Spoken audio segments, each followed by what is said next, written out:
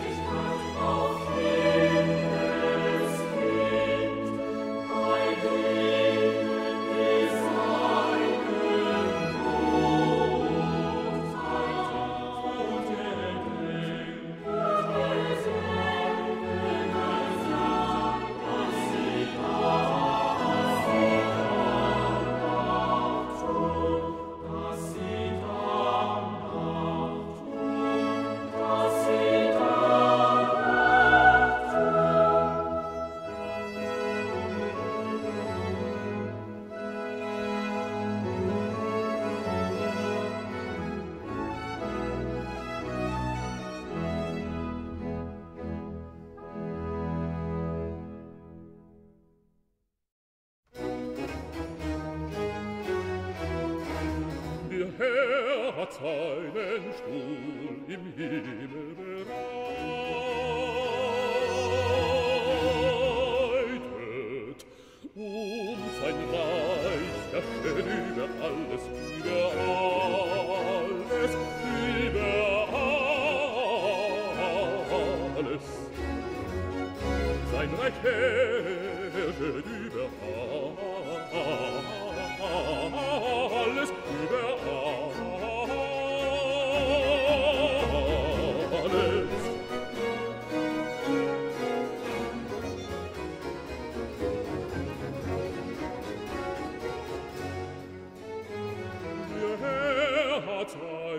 stuhl im Himmel.